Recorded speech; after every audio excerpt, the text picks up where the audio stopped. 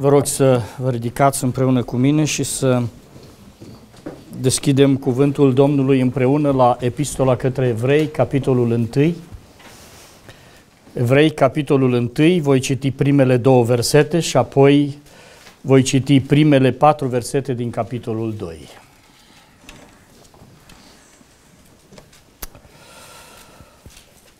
După ce a vorbit în vechime părinților noștri prin proroci, în multe rânduri și în multe chipuri, Dumnezeu la sfârșitul acestor zile ne-a vorbit prin Fiul, pe care l-a pus moștenitor al tuturor lucrurilor și prin care a făcut și viacurile. Capitolul 2, versetul 1. De aceea, cu atât mai mult, trebuie să ne ținem de lucrurile pe care le-am auzit, ca să nu fim depărtați de ele. Căci dacă cuvântul vestit prin îngeri s-a dovedit nezguduit și dacă orice abatere și orice neascultare și-a primit o dreaptă răsplătire, cum vom scăpa noi dacă stăm nepăsători față de o mântuire așa de mare, care după ce a fost vestită întâi de Domnul, ne-a fost adeverită de cei ce au auzit-o, în timp ce Dumnezeu întărea mărturia lor cu semne, puteri și felurite minuni și cu darurile Duhului Sfânt împărțite după voia sa. Amin. Amin. Mulțumim, Doamne, că din nou avem această mare bucurie să deschidem cuvântul Tău, să-L avem înaintea noastră. Dorim ca și în aceste momente să reîmprospătezi inima noastră, să ne dai energie, să ne putem concentra în mintea noastră la cuvântul Tău. Am dorit, Doamne, să învățăm cuvântul Tău așa cum ni l-ai lăsat Tu. N-am dorit să greșim, n-am dorit să ne abatem, n-am dorit să nu-L ascultăm, dorim să te cinstim prin a asculta și a înțelege și a împlini cuvântul Tău. Vorbește-ne și în aceste momente, înviorează-ne prin Duhul Sfânt și fii lăudat prin tot ce facem în numele Domnului Isus Hristos. Amin. Amin. Vă rog să vă așezați.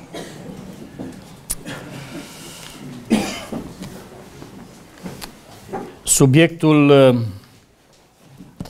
pe care frații mi l-au propus este acesta al prorociei și era un subiect separat cel al vedenilor și al viselor, domeniu care nu poate fi separat. Pentru că Dumnezeu a vorbit prorocilor acestora fie prin vedenii, fie prin vise. Dumnezeu le-a comunicat acestor oameni care l-au slujit pe ei în diferite modalități cuvântul său și revelația sa. De aceea ele nu pot fi desprinse, chiar dacă noi am vrea să le desprindem, pentru că considerăm că visele e un agent special de nu știu ce fel de comunicare. O să descoperim ceea ce cuvântul Sfintelor Scripturi ne prezintă, dar ele sunt așezate, înglodate, prinse, cuprinse în această problemă, în această uh, acțiune, în acest oficiu special despre care vorbim și anume cel profetic. Am, evident că am să folosesc mai multe texte ca să discut oficiul profetic și să încerc să-l prezint așa cum l-am văzut eu în Scriptură, dar am început cu epistola către evrei pentru că ea pare să ne prezinte o imagine de ansamblu a desfășurării acestei lucrări. Și am să-mi enunț teza încă din capul locului pe baza acestui text și nu numai, și altor texte. Sesizați că în versetul întâi ne vorbește despre faptul că după ce a vorbit în vechime părinților noștri prin proroci. proroci. Deci se vorbește despre oficiul prorocului sau oficiul profetic, ca o formă de revelație a lui Dumnezeu pentru cei din vechime. Apoi ni se spune că la un moment dat Dumnezeu a hotărât să nu ne mai vorbească prin proroci, ci a hotărât să ne trimită un alt mesager.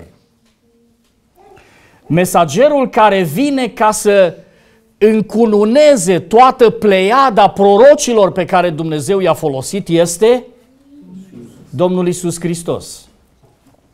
Și el, ca și ceilalți proroci, va fi primit la fel.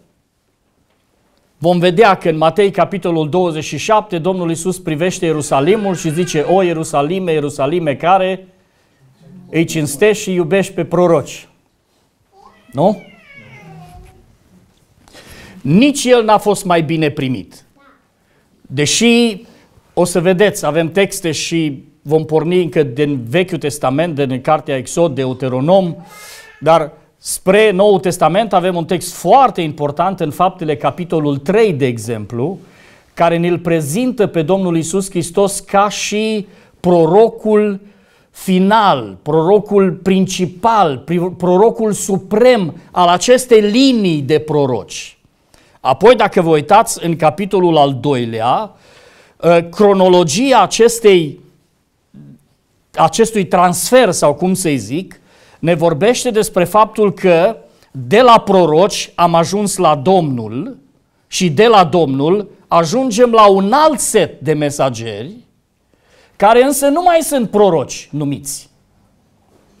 Bine, aici nu le este dat un titlu, știm din alte părți care este titlul, și o să-l vedem, dar în momentul acesta mesajul și mesagerii sunt diferiți de momentul de la care am plecat. De aceea am citit textul acesta pentru că el ne arată că se pornește de la oficiul profetic, Domnul Isus Hristos îl încununiază în cel mai înalt mod și apoi deschide un alt oficiu care nu mai este oficiul profetic, ci este oficiul predicatorului.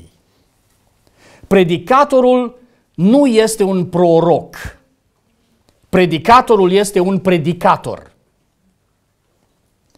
Și am să încerc să fac clară distinția dintre cele două oficii. Oficiul prorocului nu neapărat că s-a încheiat, darul profetic s-a încheiat, pentru că nu mai era necesar.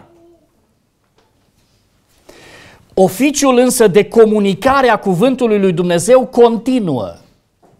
Distinția dintre proroc și predicator este că prorocul prezintă ceea ce Dumnezeu îi comunică lui, prin vedenie, prin vis, prin grai direct, prin alte modalități. În timp ce predicatorul nu primește un mesaj direct de la Dumnezeu, îl primește de la Dumnezeu, dar îl primește în mesajul scris al Scripturilor. Și distinția aceasta este enormă. O fac încă de la început, pentru că o face textul nostru. Nu o face numai textul nostru, o fac și alte texte spre care vom uh, privi, pentru că deja după Domnul Isus Hristos, ceea ce urmează e mai mult o prezentare a cuvântului pe care El l-a arătat, pentru că de aceea ni se spune, uh, ne-a fost vestită întâi de Domnul. Asta nu înseamnă că Domnul este primul vestitor, pentru că au fost proroci în vechime, ci înseamnă că subiectul pe care Domnul îl tratează e un subiect pe care El îl tratează cel din tâi, deși despre mântuire s-a scris și în Vechiul Testament, nu? Dar acum mântuirea e aici, e aievia, nu mai este profețită, nu mai este prezentată, ea e aici, adică nu mai este promisă, pardon. Acum ea doar trebuie proclamată. Și o distinție imensă între ce înseamnă darul și oficiul profetic și darul și oficiul pastoral pe care Dumnezeu îl așează în biserică odată cu apariția Scripturii, odată cu uh, trecerea apostolilor, Domnul uh, predă lucrarea apostolilor, care încet o predă celor pe care ei înșiși îi vor numi, nu apostoli și nu proroci. Îi vor numi fie prezbiteri, fie episcopi sau păstori. Pentru că toate cele trei cuvinte exprimă unul și același oficiu pe care biserica îl are astăzi și este unicul oficiu pe care biserica îl are astăzi din punctul de vedere al revelației lui Dumnezeu. Mai întâi am să prezint uh, în mare modul în care aș dori să urmăresc mesajul din această seară.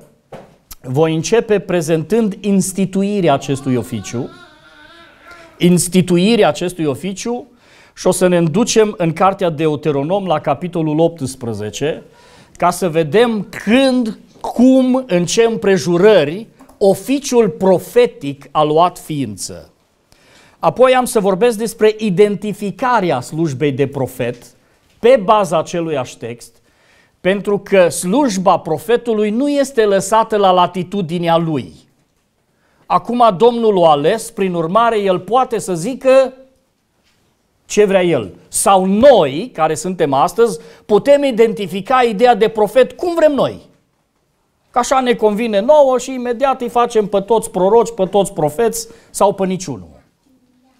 E foarte semnificativ. Apoi am să vorbesc puțin despre importanța acestui oficiu, pentru că nu discutăm despre un subiect de glumă, de joacă.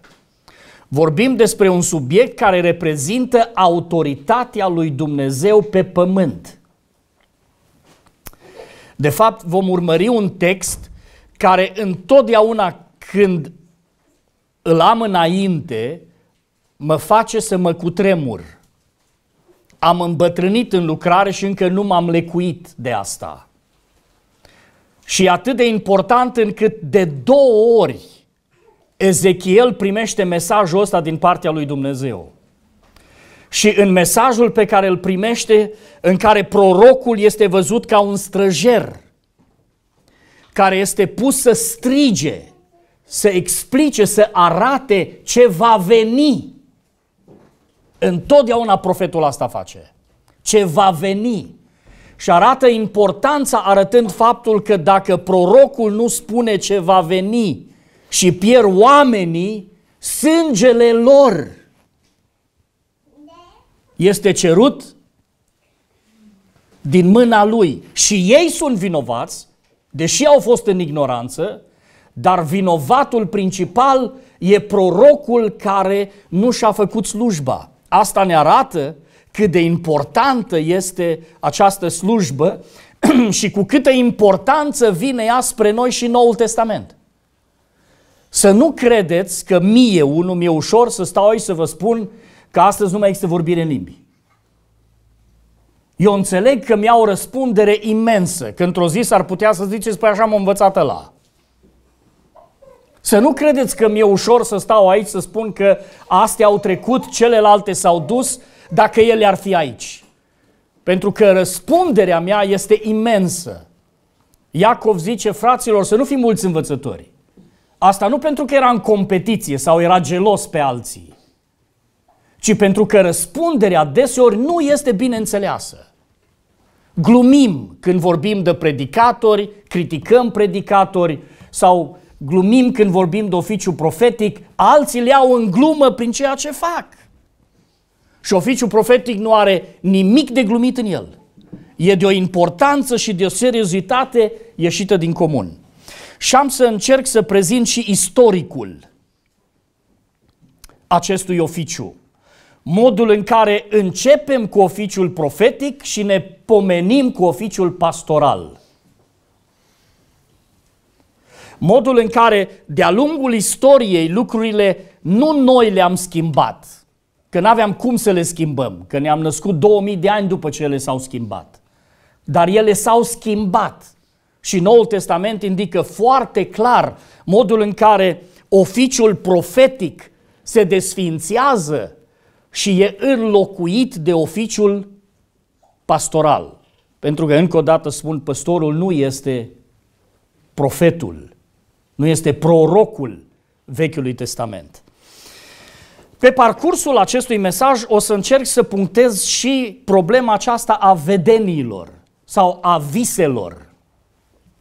Pentru că, într-un fel sau altul, Dumnezeu trebuia să îi se adreseze cui? Profetului. Așa după cum vom vedea.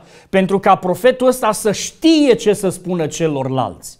Dacă nu primea cuvânt de la Domnul, el n-avea voie să-și deschidă gura. De fapt, vom vedea când discutăm de importanța acestui oficiu că dacă cumva un proroc ar fi îndrăznit să zică de la el însuși ceva, care era pedeapsa? Hai să fim serios, am glumit și eu odată, eh, nu? Era vreo scăpare? Nu. Dacă vreunul îndrăznea să, să se ridice pe baza acestui oficiu, să reprezinte autoritatea lui Dumnezeu și să zică ce vrea el, nu ce zice Domnul, e, e, e crunt. E, și mi se pare că astăzi lucrurile nu mai sunt atât de serioase. Mi se pare că unii se erigează în a fi ce nu sunt, cu o asemenea ușurință, probabil că n-au citit niciodată aceste porțiuni. Haideți împreună cu mine, vă rog, la Deuteronom, capitolul 18, unde textul biblic ne vorbește despre această instituire. Deuteronom, capitolul 11, de la versetul 15. Deuteronom, capitolul 18, de la versetul 15. Iată ce spune textul inspirat. Domnul Dumnezeul tău îți va ridica din mijlocul tău, dintre frații tăi, un proroc ca mine, zice Moise, să ascultați de el. Astfel, el va răspunde la cererea pe care ai făcut-o Domnului Dumnezeului tău la Horeb, în ziua adonorii poporului când ziceai să nu mai aud glasul Domnului Dumnezeului meu și să nu mai văd acest foc mare ca să nu mor. Atunci Domnul mi-a zis, ce au zis ei este bine. Le voi ridica din mijlocul fraților lor un proroc ca tine. Voi pune cuvintele mele în gura lui. El le va spune tot ce îi voi porunci eu. Și dacă cineva nu va asculta de cuvintele mele pe care le va spune el în numele meu, eu îi voi cere socoteală. Dar prorocul care va avea îndrăzneala să spună în numele meu un cuvânt pe care nu-i voi porunci să-l spună, sau care va vorbi în numele altor Dumnezei, prorocul acela să fie pedepsit cu moartea. Poate vei zice în inima ta și sesizați problema care apare. Puh, sigur că ar fi simplu. Când prorocul vorbește, deschidem să vedem, măi, aici ce zice sau nu. E, da, n-au asta.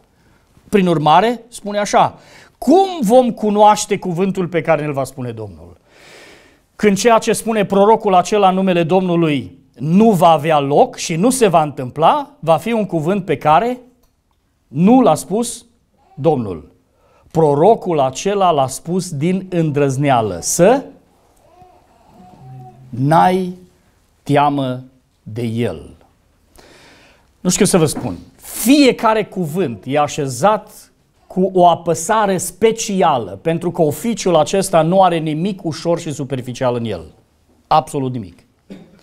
Să te ridici înaintea oamenilor și să vorbești în numele Domnului și să îndrăznești să o iei razna cum vrei tu și să povestești ce vrei tu, și să aduci cuvinte care nu vin din partea lui Dumnezeu este ceva extraordinar de grav. Iată aici așadar instituirea acestui oficiu care ține de trei factori pe care textul ni prezintă. Primul e dorința sau cum să zic, dorința pe care Dumnezeu o are de a comunica poporului său. Dumnezeu e un Dumnezeu care vorbește. Dumnezeu e un Dumnezeu care vrea să spună poporului său ce trebuie să audă poporul său. Și aici este, dacă citiți, de exemplu, în Deuteronom, capitolul 4 și alte texte, uh, era pomenit aici mai devreme Psalmul 115, uh, aici este marea diferență între Dumnezeul autentic și toți ceilalți zei păgâni ai vremii. Pentru că singurul care vorbește este Dumnezeu. Luați de Deuteronom capitolul 4, de exemplu. Israel zice, uite-te și tu în jur, ia să vezi, mai este vreun popor la care să-i vorbească Dumnezeu însuși. Mai este vreun popor? S-a mai pomenit așa ceva? Și, cum să spun eu, observația asta vine pe două dimensiuni. E pe dimensiunea cronologică și e pe dimensiunea geografică.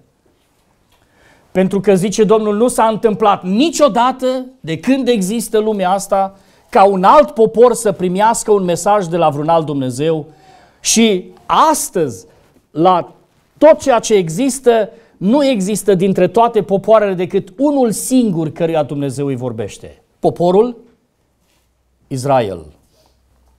Lucrul acesta, dorința lui Dumnezeu de a comunica, de a vorbi, de a ne spune cine este El și ce este El și ce așteaptă El de la creatura Lui, este inima acestui oficiu.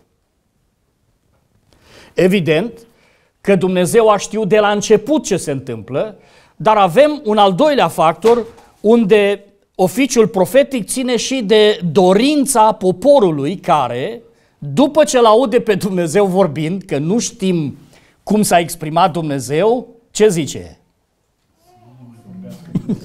Dacă mai ascultăm mult, dacă mai vorbește mult, nu mai are cui vorbi. Aici pierim toți.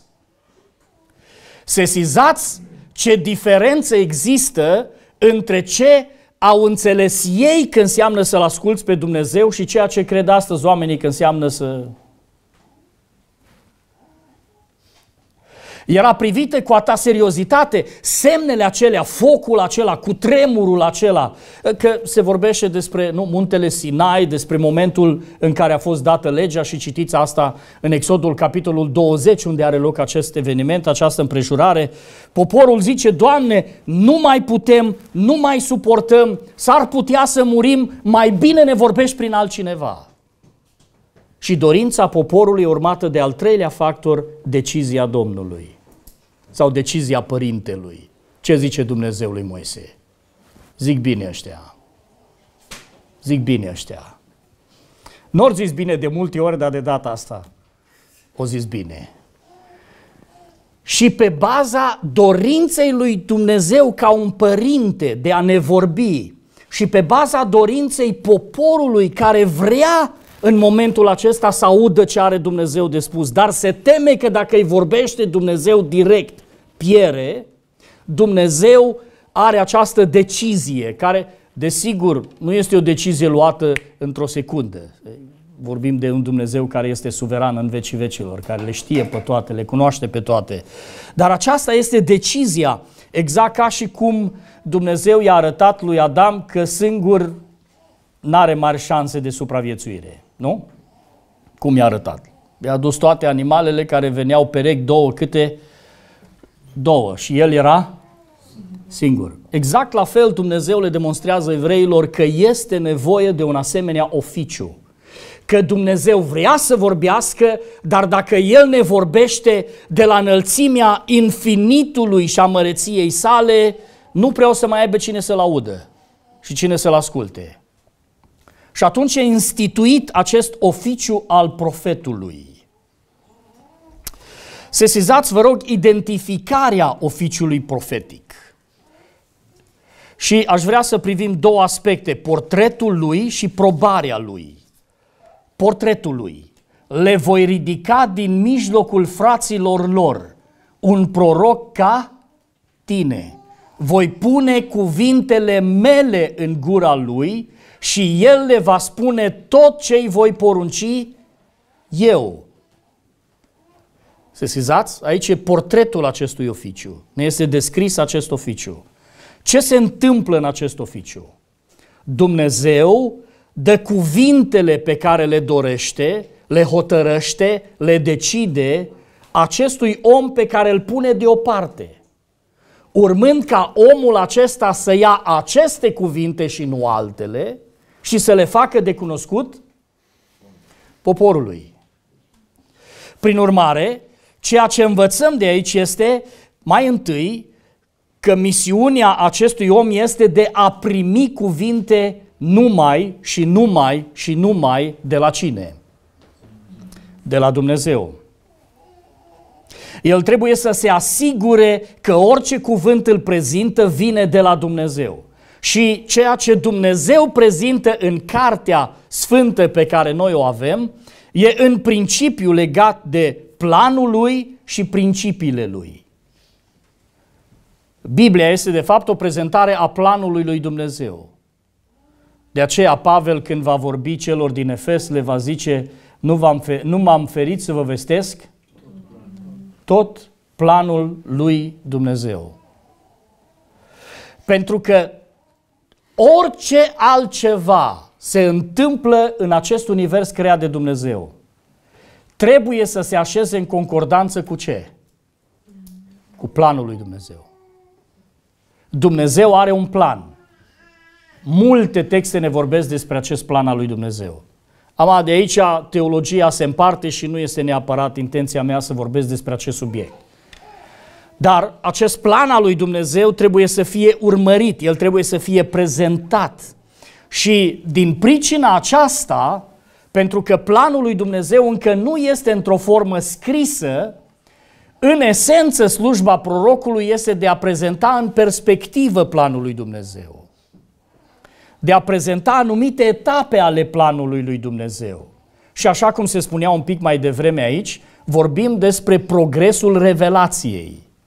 Faptul că Dumnezeu nu și-a prezentat tot programul o singură dată la un singur om s-a terminat. Ci faptul că Dumnezeu hotărăște să vorbească, apoi nu mai vorbește, apoi iar mai vorbește, apoi iar nu mai vorbește – Progresul revelației nu înseamnă că noi înțelegem din ce în ce mai mult, deci progresăm în revelație. Progresul revelației înseamnă că Dumnezeu hotărăște când, cât și ce ne descoperă. Și însemnătatea acestui lucru este că dacă Dumnezeu nu ne descoperă, noi nu avem de unde să știm. Moise va conchide ca unul dintre acești proroci, nu că zice asemenea ție, că lucrurile ascunse sunt ale lui Dumnezeu. Și când lucrurile ascunse sunt ale lui Dumnezeu și Dumnezeu le ține ascuns, cine le poate? Numai cine nu are minte, numai cine nu înțelept, ar încerca să intre în lucrurile pe care Dumnezeu le-a ținut, vorba Domnului Isus în fața ucenicilor. Pe acestea Tatăl le-a ținut sub stăpânirea sa. Deci a hotărât să nu le prezinte încă. Prin urmare, prorocul e cel care vorbește de obicei la viitor, arătând pași, etape, voia lui Dumnezeu, planurile lui Dumnezeu. În același timp, el prezintă persoana și pretențiile lui Dumnezeu. Eu consider că Biblia este o carte care nu are legături cu liste de a, asta ai voie, asta n-ai voie. Prin urmare, ce ai voie, ai voie, ce n-ai voie, n-ai voie. Nu cred că Dumnezeu funcționează pe bază de listă. Dumnezeu vrea prin cuvântul lui să-L cunoaștem, să-i cunoaștem poruncile și pretențiile și prin convertirea și împlinirea lor să devenim compatibili cu Dumnezeul acesta care se prezintă în Scripturi. Că Dumnezeu de aia se prezintă. Ca să-L cunoaștem, să înțelegem măreția, să înțelegem frumusețea și să ne dorim să împlinim tot ceea ce ne cere Dumnezeu din punctul acesta de vedere. De aceea, oficiul acesta este un oficiu extrem de strict și de sever. Și pe paginile Vechiului Testament avem oameni care vorbesc, dar nu în numele Lui, Dumnezeu. Uh, nu de mult am predicat, știți că există un personaj care nu este deloc larg descris în Scriptură, el se numește Mica. E un proroc care e prezentat undeva pe vremea lui Ilie. E un proroc care de altfel e foarte obscur. Iosafat și cumpăratul Israelului se hotără să meargă într-o, într-un război, într-o luptă și Iosafat e foarte credincios, Ahab nu. Iosafat zice, vreau să cunosc părerea Domnului. Și Ahab zice, nu-i nicio problemă, am aici profeți câți vrei. Și adună cu sutele pe ei. și vin toți acolo și întreabă, no, ce părere ai? Da, să te duci. Unul își pune nu știu ce coarne, zice, uite așa. Și o să faci, zice, nu mai este. Ăștia toți? Și Ahab zice, bă, mai este unul. Dar la niciodată nu spune ce-mi place. Absolut niciodată nu spune ce-mi place. Eu să fac și să vină și ăla. Și pe drum, ăsta care îi trimis emisarul regelui zice, auzi, dacă ești om deștept, vezi ce spui. Că deja mesajul e transmis. Toți ăia la alt zic, dă bine. Așa că ce ar trebui să faci tu? Și foarte feligmatic, când ajunge în prezența regelui, primul lui mesaj, știți care e? Dă bine. Da, dacă așa au zis toți, toate. Numai că Iosafat prinde ce n-a prins Ahab. Zice, ia fi atent aici. Și atunci Mica va zice, nu e așa cum zic toți, e altfel.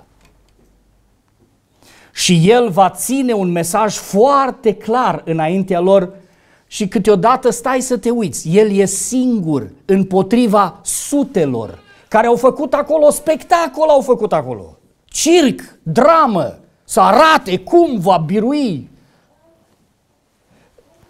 Ce mi-arată asta? Îmi arată că și atunci și astăzi sunt foarte mulți oameni care îndrăznesc să vorbească în numele lui Dumnezeu, vorbind ceea ce place mulțimii să audă. Prorocul nu-și putea permite așa ceva. El nu era acolo să spună mulțimii ce-i place, ce își dorește, ce ar dori să audă, cum ar dori să audă. Și, nu e așa?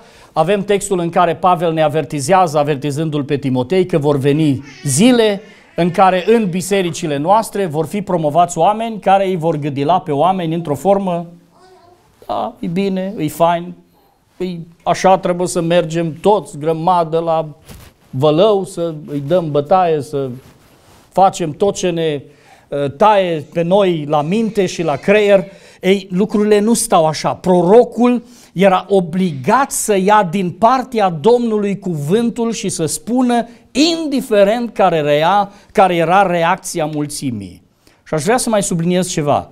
În portretul acesta apare o imagine care sigur ea e folosită un pic mai târziu. Uitați-vă la ultima expresie a versetului 22 care ne arată cum ar fi trebuit să fie tratat prorocul adevărat. De ăla fals, ce scrie? Să n-ai teamă. Pe ăla care zice ce vrei tu să auzi, pe ăla care te gâdile frumos la ureche, de ăla să nu te temi. Să te temi de ăla care îți spune adevărul cuvântului lui Dumnezeu. De ăla să te temi. Portretul e într-o asemenea manieră arătată încât să se demonstreze o autoritate pe care Dumnezeu o oferă acestui proroc.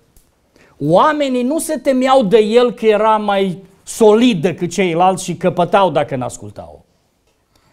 Teama nu era o teamă care era, ă, eu știu, așezată cu forța, cu dictatura peste ei. Era o teamă insuflată de autoritatea lui Dumnezeu. Și oficiul profetic în portretul său are această autoritate care este unică, care este unică. Textul ne vorbește și despre probarea acestui oficiu. Ceea ce ne arată că niciodată mulțimea nu trebuia să se mulțumească numai cu ce aude. Trebuia să urmărească dacă ceea ce îi se spune vine sau nu de la Dumnezeu. Trebuia să urmărească asta. De aceea avem această expresie, prorocul care va avea îndrăzneală să spună ceva ce n-am spus eu, să fie pedepsit cu moartea, cum oamenii vor verifica? El a spus că se va întâmpla asta, e uite că nu s-a întâmplat.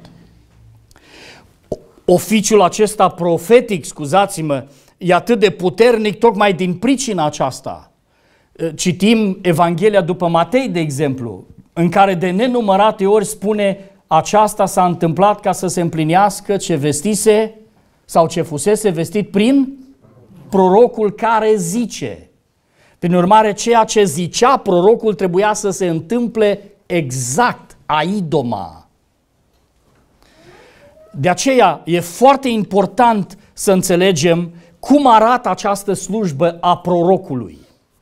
Acum, încă o dată, aici avem de-a face cu o metodă de comunicare directă între Dumnezeu și proroc. De aceea, oficiul prorocului și oficiul păstorului sunt diferite. Pentru că păstorul își ia cuvintele de la Dumnezeu din Scripturi. El nu mai așteaptă ca Domnul să-i vorbească în vedenii. Da? Ca Domnul să-i vorbească în vise. El așteaptă ca Dumnezeu să-i dea un cuvânt din cuvântul său. Și fiecare cuvânt al lui Dumnezeu trebuie lăsat la locul lui. Dacă nu e lăsat la locul lui și facem ce vrem noi cu ele, iese exact ce se întâmplă astăzi. Am auzit și astăzi aici o discuție, am răspuns odată la o întrebare din partea unor studenți, mi-a trebuit vreo 5 pagini să răspund. Întrebarea era de ce există o singură Biblie și există atâtea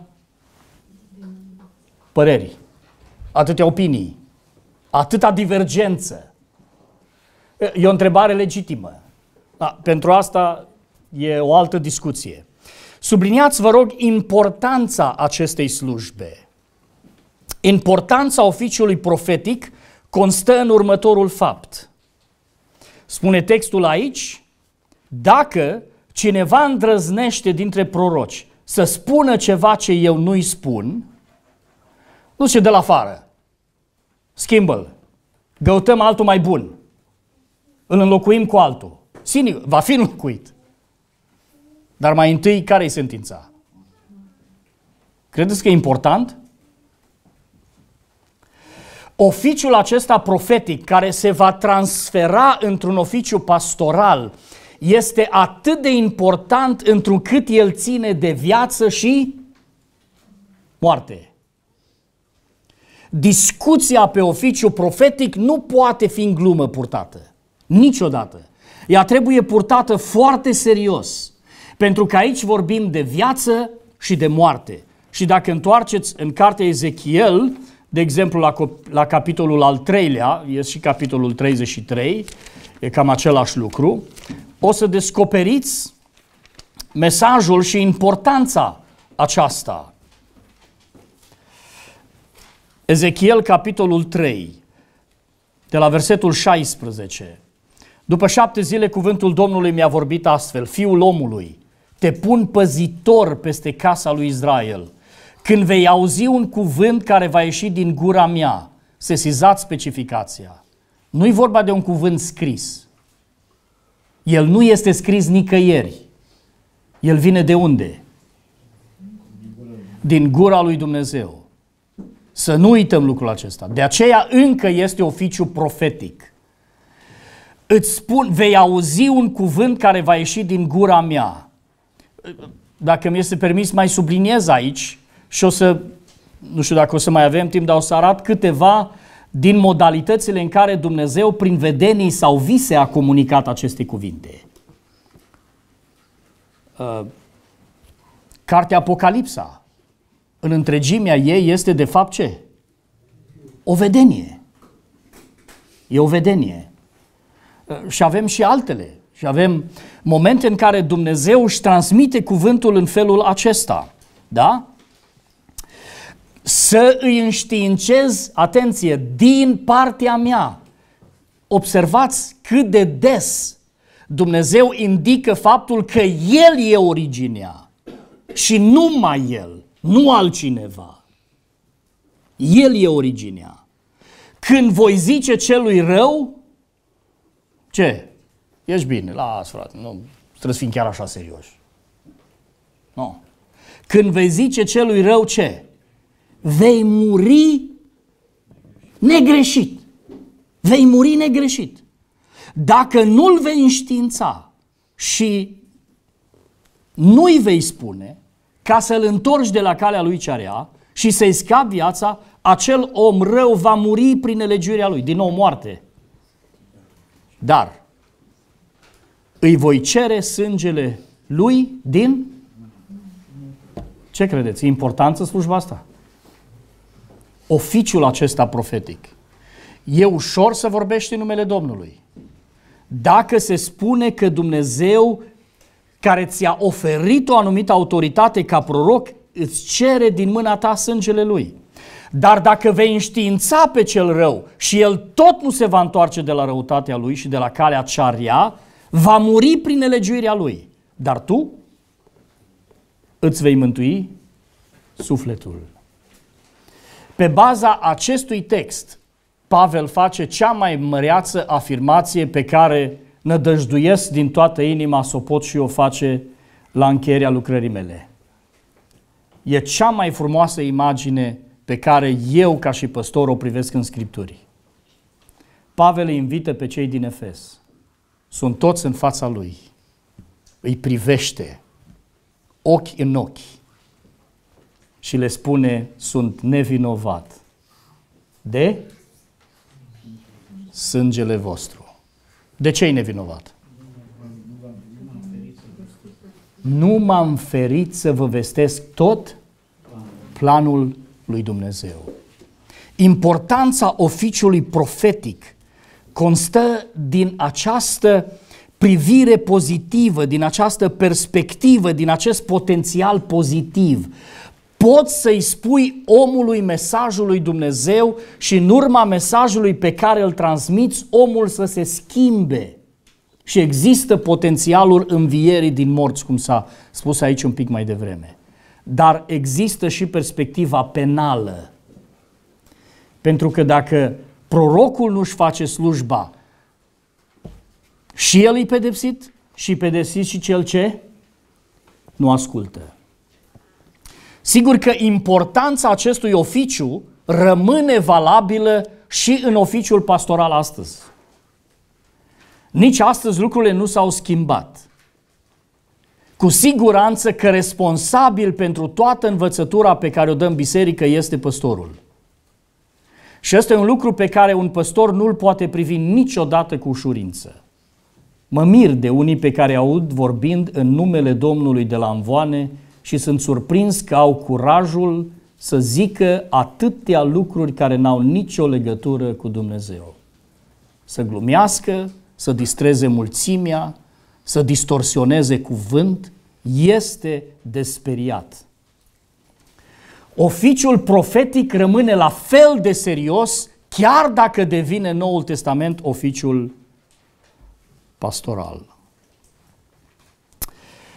Aș vorbi puțin despre istoricul acestei, acestui oficiu, pe care aș vrea să-l prezint uh, fugitiv prin câteva etape.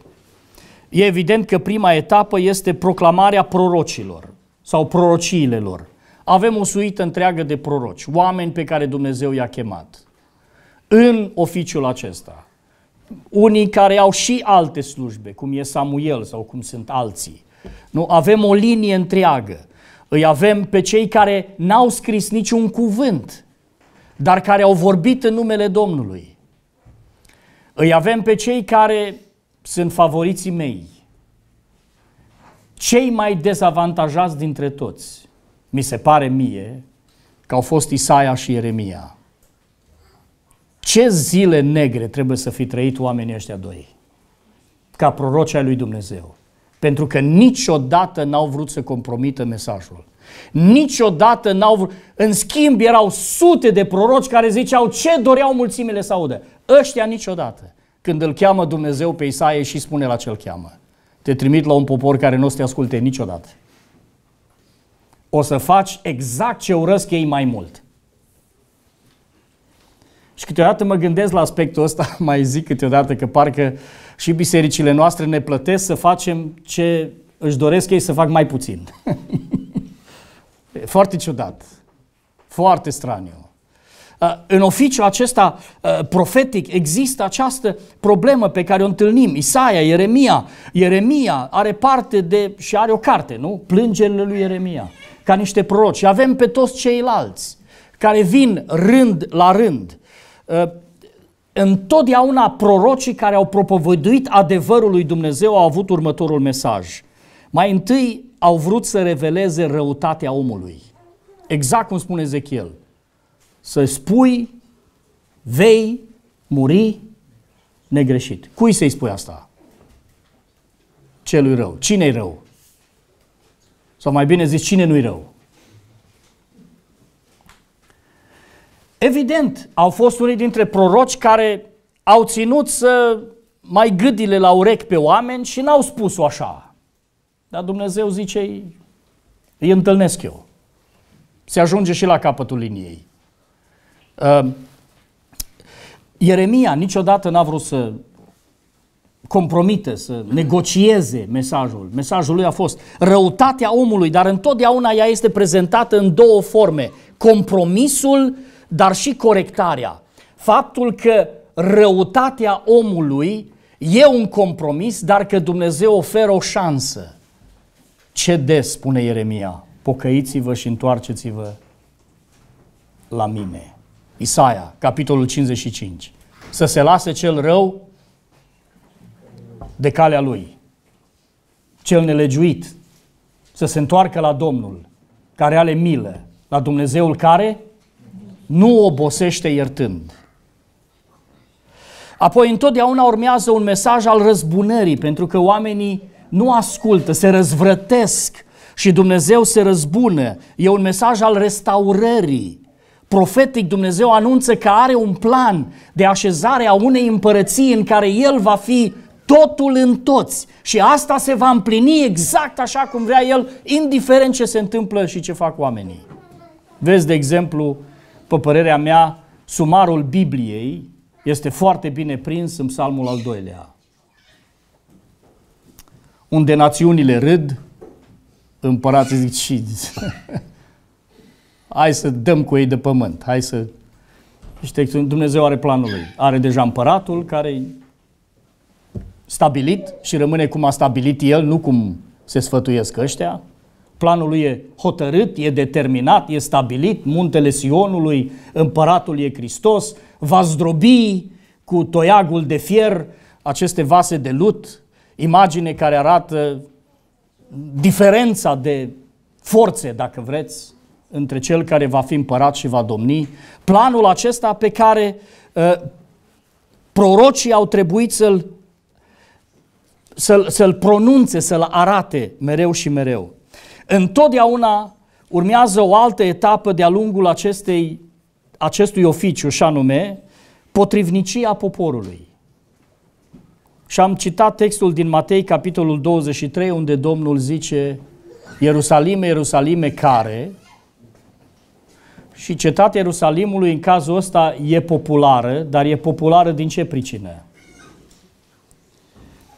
N-a ascultat a putut Dumnezeu vorbi de câte ori a vrut, ați sesizați textul din Evrei, în multe feluri și în multe rânduri. Din nou și din nou, cu răbdare, Dumnezeu vorbește din nou și din nou. Și există exact aceeași problemă în care poporul este potrivnic. În Luca capitolul 19 îl avem pe Domnul Isus Hristos care privind Ierusalimul plânge pentru că este o cetate care n-a cunoscut niciodată mesagerii lui Dumnezeu și n-a cunoscut nici ultima clipă a cercetării. Cine era în mijlocul ei? Marele proroc. Marele proroc. Pentru că următoarea fază este acest proroc, acest proroc principal, fundamental, suprem, care vine și care vine ca fiind cel care a fost promis ca cel ce va fi vârful, ă, completarea, apogeul, punctul culminant al acestor profeți, despre care va vorbi Moise însuși în faptele capitolul 3, după cum spuneam mai devreme, ă, Apostolul Petru va ține aici o predică, Pocăiți-vă dar și întoarceți-vă la Dumnezeu pentru ca să vi se șteargă păcatele, să vină de la Domnul vremurile de înviorare, să trimită pe Cel ce a fost rânduit mai dinainte pentru voi, pe Iisus Hristos. Și aici citează, în adevăr, Moise a zis părinților noștri, Domnul Dumnezeul vostru va ridica dintre frații voștri un proroc ca mine, pe el să-l ascultați în tot ce vă va spune. Și oricine nu va asculta de prorocul acela, și cred că e corect pus cu P mare în traducerea Cornelescu, va fi nimicit cu desăvârșire din mijlocul poporului. Cine este prorocul acesta? Care vine ca o încununare a întregii linii profetice. Avem și o pildă pe care Domnul Isus o spune în Matei, capitolul 21, pilda vierilor. Cu stăpânul viei care trimite când pe ăla, când pe ăla, când pe ăla și toți sunt omorâți și la urmă zice stăpânul, a, știu eu pe cine să trimit. O să trimit pe fiul meu că pe el îl vor primi bine. Și l-au primit ca pe ceilalți. Când vine Domnul Isus Hristos, El vine cu un mesaj absolut pătrunzător. De fapt, când Domnul Isus Hristos își prezintă raportul lucrării sale, se prezintă ca un proroc înainte ca să se prezinte ca un ispășitor. Uitați-vă în Ioan, capitolul 17, unde există o afirmație foarte interesantă înainte ca jertfa sa să fie îndeplinită. Zice el, am isprăvit lucrarea pe care mi-ai dat să o fac. Versetul 4. Am isprăvit lucrarea pe care mi-ai dat să fac. Abia a doua zi va zice s-a isprăvit. Cum de zice mai devreme că a isprăvit lucrarea? Pentru că zice mai târziu. Am făcut cunoscut numele tău, oamenilor pe care mi-ai dat din lume. Ai tăi erau, tu mi-ai dat, acum au cunoscut că tot ce mi-ai dat tu vine de la tine, căci le-am dat cuvintele pe care, ce interesant, iată oficiul profetic în toată splendoarea lui, în cel mai înalt profet, cel mai înalt proroc. De fapt, Iisus Hristos va fi nu numai cel mai înalt proroc, ci va fi numit în evrei și apostolul apostolul, uh, Domnul ca cel care a început să aducă această veste. Apoi avem preschimbarea prorociei sau oficiului profetic. De ce e preschimbat oficiul profetic? Pentru că nu mai e nevoie de el. Până aici, prorocii vorbeau despre cineva care va veni, despre o mântuire care va veni despre o lucrare care se va face. Cel promis a venit. Prin urmare, de acum mesajele nu mai sunt mesaje care țin de viitor, deși avem în continuare revelație care ne vorbește despre viitorul planului lui Dumnezeu, așa numita escatologie pe care noi o discutăm la teologie, în esență ceea ce Dumnezeu a promis a împlinit. Hristos a venit. Acum mesajul este El. Prin urmare, oficiul profetic nu mai este necesar. El nu mai este oficiu profetic, ci este oficiu pastoral sau oficiul propovăduirii. Oficiul unui om care vine să propovăduiască nu ceva ce îi spune Dumnezeu, ci ceva ce a spus Hristos. Uh, unul dintre textele, cred eu, cele mai clare în sensul acesta pe care vreau să-l citesc se află în Efeseni, capitolul 4, unde în strategia lui Dumnezeu pentru lucrarea bisericii apare această uh, enumerare cronologică pe care o face textul. Versetul 11. Și el a dat pe unii apostoli, îi găsim în Evrei, capitolul 2. Spunea Evrei, capitolul 2, că Domnul le-a, ei adevereau, nu proroceau, adevereau ceva ce le spusese cine? Domnul, pentru că El a vestit mai întâi această mântuire. Și Domnul care le-a vestit această mântuire este Domnul care le-a dat acest mesaj slujba apostolilor este să adeverească ce le-a spus Domnul Isus Hristos. Să întregească, așa cum vom vedea mâine, mesajul lui Dumnezeu, așa cum Pavel știe că asta e slujba lui. Să întregească ceva ce nu era întreg. Ghici ciupercă ce? Nu era întreg și trebuia întregit. Da? La mintea simplă a oricăruia dintre noi. A dat pe unii apostoli, pe alții proroci. Și acest termen este folosit pentru că în capitolul 2 avem în versetul 20, fiind zidiți pe temelia apostolilor și prorocilor, piatra din capul unghiului fiind ce? Promisiunea împlinită a lui Dumnezeu, care este ce? Iisus Hristos, Mesia, venit în lume, să plătească pentru păcatele noastre, să ne răscumpere pe toți, pe, din toate neamurile, în orice seminție de pe pământ, să ne răscumpere, să ne așeze în împărăția sa. E evident. Apoi spune pe alții evangeliști. Aici este cea mai obscură titulatură dintre toate. Nu știm ce înseamnă evangeliști. Să se refere la Matei, care era și apostol în același timp și ne-a lăsat o evanghelie, Luca, Marcu, care n-au fost niciodată apostoli, dar ne-au lăsat și ei evanghelii, Ioan, care a fost apostol și a scris o evanghelie și a scris epistolele, la cine să ne referim? Dar oricum cronologia este evidentă. Apostolii, prorocii, evangelizatorii sau Evanghelia și acum urmează ultimul oficiu. Care e ăsta? Păstori și învățători. Sesizați, nu există în continuare expresia pe alții păstori, pe alții învățători. Pentru că păstorii de fapt sunt, ei nu mai sunt proroci. Nu, păstorii nu sunt proroci. Păstorii n-au slujba profetică. Slujba păstorului nu este să stea, să audă și să asculte voci și apoi să transmită ce aude la aceste voci în avonul bisericii. Nu. Cuvântul lui Dumnezeu, Hristos a venit. Hristos le-a dat cuvintele lui. Apostolii urmau să le scrie și să le răspândească. Și în urma apostolilor vine acest oficiu care va înlocui pentru totdeauna oficiul profetic. Este oficiul pastoral, în care păstorul are cuvintele lui Dumnezeu. Ce trebuie să facă este să le înțeleagă, să le citească și de aici, dacă vreți să vedeți cum e oficiul pastoral, mergeți la Timotei, de exemplu, unde Pavel zice, ia aminte la citire, la învățătura pe care o dai, la cum îndemn pe alții, ia aminte la toate aceste lucruri, pentru că dacă vei face așa, e o formă uh, mai înaltă a ceea ce spune Ezechiel. Te vei mântui pe tine însuți și pe cei ce te ascultă. Seriozitatea acestui oficiu rămâne exact aceeași.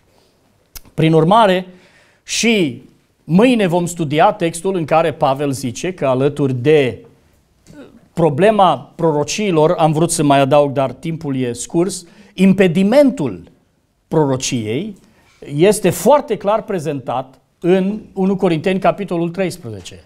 Prorocim în... Ce zice Pavel? Prorocim în... Stai bai. Îi bai. Da, mesajul vine de la Dumnezeu, dar mesajul lui Dumnezeu este progresiv. Am primit o parte. Urmează să mai primim. Urmează să mai primim. Sigur. Pavel însuși avea să scrie mesaj care vine direct de la Domnul Isus Hristos. E vreunul dintre noi care suntem păstori astăzi care adaugă la revelația lui Dumnezeu? Nu. De aceea oficiul profetic nu mai este necesar. El s-a închis. Pentru că rezolvarea impedimentului major al prorociei, care este prorocim în parte, a fost înlocuit de întreg. A venit întregul. Odată ce a venit întregul, în partele, e inferior.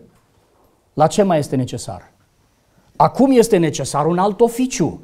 El seamănă cu ălalt în seriozitatea lui, în lucrarea care trebuie făcută de a propovădui serios cuvântul lui Dumnezeu, de a nu propovădui nimic altceva decât cuvintele lui Dumnezeu, numai că cuvintele lui Dumnezeu sunt astăzi obținute prin textul care este scris înaintea noastră.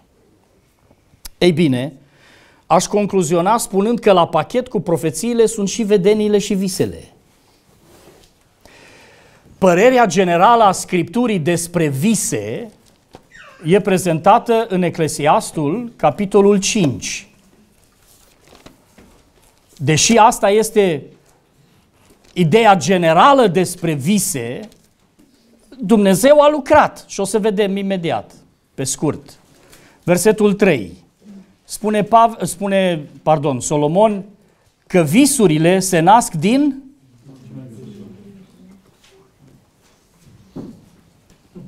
Asta e prezentarea generală a viselor. Visele se nasc din mulțimea grijilor. Dar mai spune ceva în versetul 7.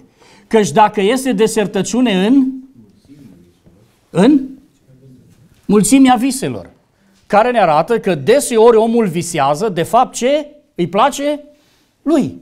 Ce și-ar dori el. Și ce minunat ar fi dacă, bă, Domnul mi-a vorbit prin visul ăsta. Evident că Domnul a vorbit prin vedenii și vise. Dacă luăm conceptul acesta să-l desprindem, vedeniile au de-a face cu partea de zi, sau cum se prezintă Balam în numerii capitolul 24, dacă nu mă înșală memoria, ce iată ce zice cel ce are ochii deschiși, ca să vadă vedenile lui Dumnezeu. Pe când visurile au loc noaptea. Sigur, Dumnezeu va lucra prin vedenii și vise, dar asta nu va schimba adevărul că visele rămân o problemă care rezultă din subconștientul nostru. Dorințele noastre, poftele noastre, neajunsurile noastre. Ei, Dumnezeu se va folosi de aceste vehicule pe perioada în care cuvântul încă nu este scris ca să transmită prorocilor și anumitor oameni lucruri necesare pentru împlinirea planului său. Avram a visat, a avut vedenii. Îl avem pe Abimelec. De ce i s-a arătat Dumnezeu lui Abimelec? Pentru că era gata, gata planul lui Dumnezeu să o ia razna dacă Sara ar fi ajuns să devină nevasta lui și la prostia lui Avram Dumnezeu intervine. Avem visele lui Iosif, vi le amintiți? Astea nu sunt doar la întâmplare. Sunt vise care vorbesc despre planul pe care Dumnezeu îl are cu Iosif, cu familia lui, să o scoată din foamete, să o ducă în, nu, în Egipt, de unde se vor întoarce. E, sigur, Iosif va vedea aceste vise. Toate vor comunica acest plan al lui Dumnezeu. Avem visul lui Iacov, care pleacă de acasă, fugind de frații, de frat, nu, de tocmai l-a înșelat pe fratele lui Esau. Și Dumnezeu îl întimpină cu un vis în care verde cerul deschis, scara aceea, îngerul când și coborând și prin urmare va anunța aici este casa lui Dumnezeu, aici este poarta cerurilor. Ba chiar avem momente în care Biblia punctează faptul că Dumnezeu nu mai lucrează prin vise, așa cum a lucrat înainte.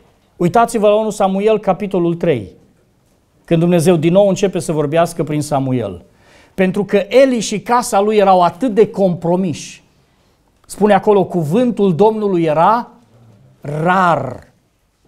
Nu mai existau vise. Cuvântul Domnului era rar.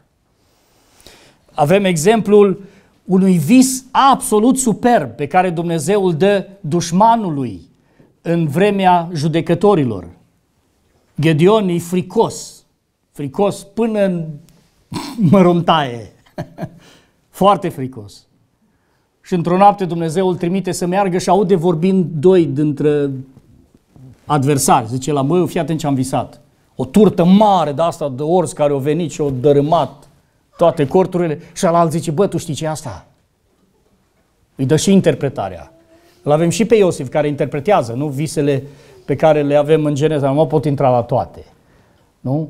Și când aude interpretarea, Gedeon ce înțelege? E momentul. Trebuie să ne apucăm de treabă. Sigur, avem, ne întoarcem spre Solomon. Ce vis a avut Solomon? Cine nu și-ar dori o asemenea experiență? Cerem ce? Vrei. Și? Și Solomon știe ce să ceară. Vise. Dar ce trebuie să înțelegem? Toate aceste vise nu reprezintă faptul că Dumnezeu acum lucrează prin vise. Mai avem mult, avem în Noul Testament, avem pe nevasta lui Pilat, care ce face? Visează. Sesizați însă că toate acestea, l avem pe Anania, care este într-o vedenie trimis la Pavel. Avem două vedenii concomitent. Una care are loc la Corneliu, în casa lui, și una care are loc la Simon Tăbăcaru pentru Petru. În una îl înștiințează pe Corneliu să-l cheme pe Petru, în cealaltă îl înștiințează pe Petru că trebuie să meargă la Corneliu. Avem visul lui Iosif, care se gândea pe ascuns să facă ce? Să o lase pe Maria. Și le putem lua la rând pe toate care le doriți. Pavel este singurul convertit printr-o vedenie. Nimeni altcineva nu mai este convertit printr-o vedenie. El este singurul căruia Domnul Isus îi se descoperă în persoană, arătându-i cine este și copleșindu-l pe Pavel, pe Saul din Tars cu prezența sa. În rest, nu mai avem niciun caz, e un caz unic. Domnul Isus nu îi se arată în vedenie lui Corneliu. Corneliu nu este mântuit printr-o vedenie. El este învățat ce să facă printr-o vedenie. El este mântuit prin propovăduirea Evangheliei. Apocalipsa este o vedenie, așa după cum am spus, și mai sunt și altele. Ce vreau însă să înțelegem este că asta nu înseamnă că Dumnezeu va folosi visele ca un vehicul de călăuzire a noastră. Singurul vehicul de călăuzire a noastră este cuvântul lui Dumnezeu. Visele, vedenile sunt la pachet cu revelația, cu prorocia, cu modul în care, într-un fel sau altul, Dumnezeu urmărește împlinirea planului său exact așa cum îl dorește El. Asta nu înseamnă că, și deseori fals interpretat textul din Apocalipsa, capitolul 2, fiii voștri vor avea, bătrânii voștri vor avea visuri și Sigur că vor avea visuri. Și încă o dată, există o perioadă în care Dumnezeu lucrează prin acest vehicul. Dar astăzi, Dumnezeu nu ne... Că... Nici unde în epistole nu suntem încurajați să ne lăsăm călăuziți de vise. Scriptura, Scriptura, Scriptura, Scriptura, punct. Putem avea vise interesante, eu nu mi-aduc aminte nici de ultimul, așa de obosit că nu știu dacă visez vreodată. Am auzit, nu știu, îmi spunea cineva că toți visăm numai că nu ni le amintim. Posibil. Eu sunt așa de că nu mi le amintesc. Nici nu mi dor să mi le amintesc. Dar nu vreau să conchid de aici că, mă, pe mine nu mă mai călăuzește Domnul, că nu mai visez și eu ceva. Nu, ar fi culmea.